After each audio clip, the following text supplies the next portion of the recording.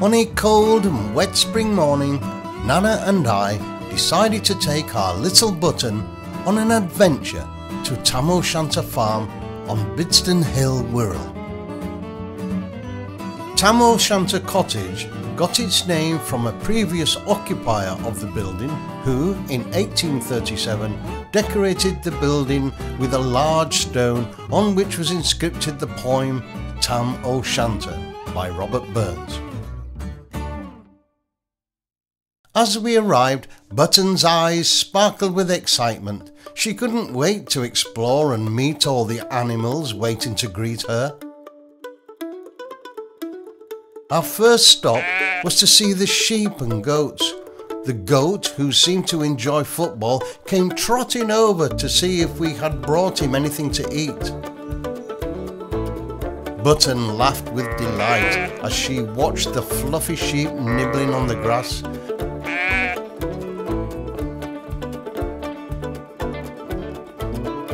Next, we visited the pigs, who were very happy snorting and snuffling around for food and too busy to notice us watching them.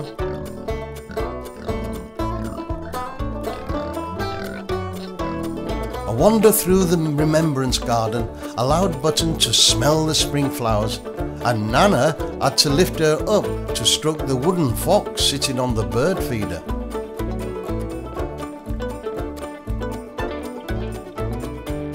We started to warm up as we walked through the many paths around the farm, and soon we came across an interesting cow.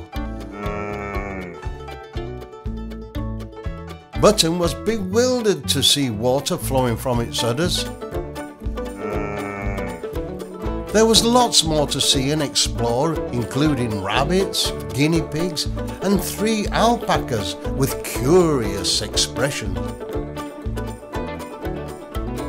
Next to them was an adventure playground with a slide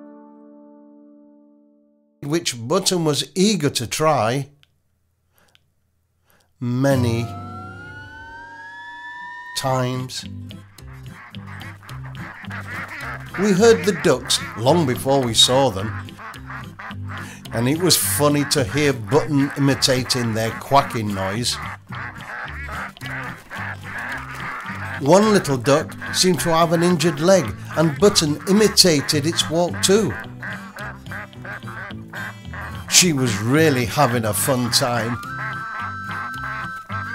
Spring is the mating season, and so in the duck pond much frolicking was observed and heard, giving Button even more opportunity to practice her duck cries.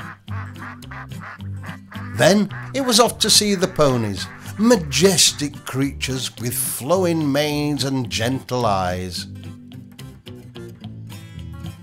One pony was so happy to see Button, it lay down and rolled over on its back, as if to say, Come and tickle me.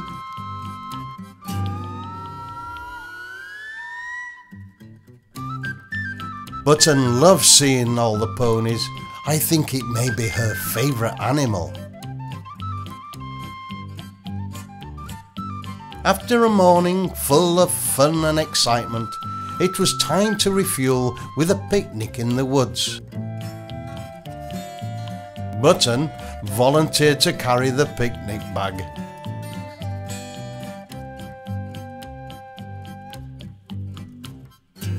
As we sat together, surrounded by the beauty of nature, I couldn't help but feel grateful for these precious moments with our dear Button.